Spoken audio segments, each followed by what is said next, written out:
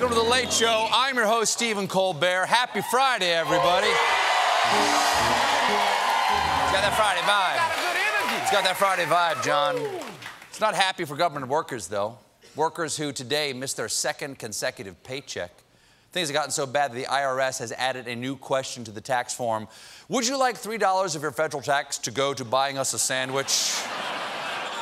It's the longest shutdown in U.S. history, and we should have seen this coming because, according to White House officials, after Trump made the decision, there was no game plan for what to do next.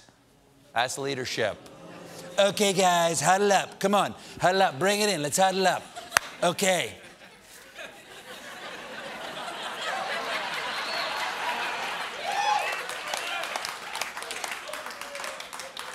Does anyone know how to play football? Because I have no idea what I'm doing. I have no idea.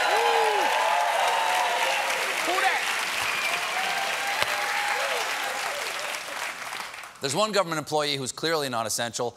White House press secretary and grown-up honey boo-boo Sarah Huckabee Sanders.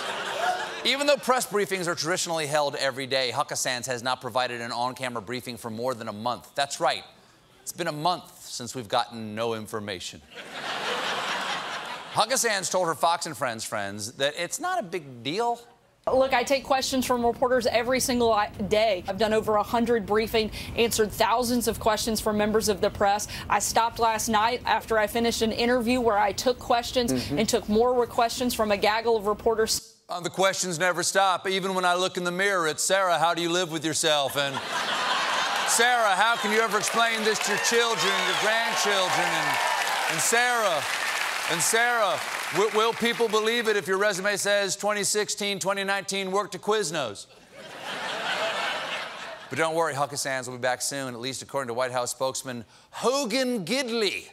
We came to expect those, those afternoon briefings, press briefings from the White House uh, every day almost. There has not been one held this year, Hogan. Is there any plans to start that back up again or see Sarah Sanders back up at the podium?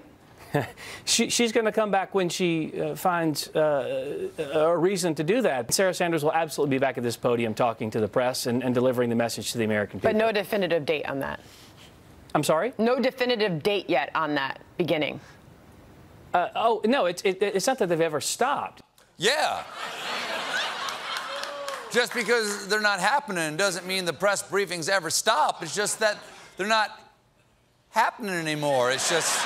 It's, it's, it's, it's like we're not dead, we're just not gonna waste time with that breathing thing anymore. Waste of time.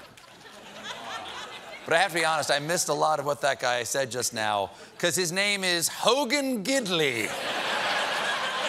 I think he's the Hogwarts student who got picked last for Quidditch. Gidley always drops the quaffle. Or quaffle always drops the Gidley, I don't know sure. And his name is just the tip of the Gidleyberg. Though that is the most sensitive part of the Gidleyberg. Because if you jump on Hogan's Twitter, you'll find a gallery of jacked Hogan Gidley shots where he's holding dead possums that he just shot with a handgun. Ah, yes, the possum, the most dangerous and elusive of prey.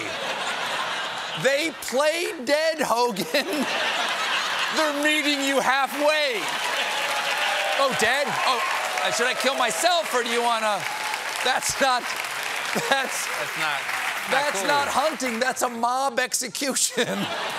yeah, you ratted us out, possum. Sleep with the otters. now let's go whack a hibernating fox. Also, in every photograph, Gidley is really showing off that belt buckle. Ladies, if your man can't turn his belt into a grappling hook and swing you to safety, you aren't dating Hogan Gidley. can we, Jim, can we look at that again? Look at that thing. It's got like a latch and a brass handle. It's like, a, it's like an airplane safety door handle right there. He's got to keep it cranked closed so his pants don't depressurize mid-flight, and then it's, it's just goodbye Gidley bits, just sucked out the, the Gidley bits.